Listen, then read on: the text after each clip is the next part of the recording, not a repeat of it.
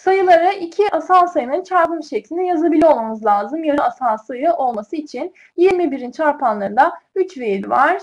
Yani ikisi de asal. 22'de ise 11 ve 2 var. Bunları da sayabiliyoruz. 35'te 5 ve 7 var.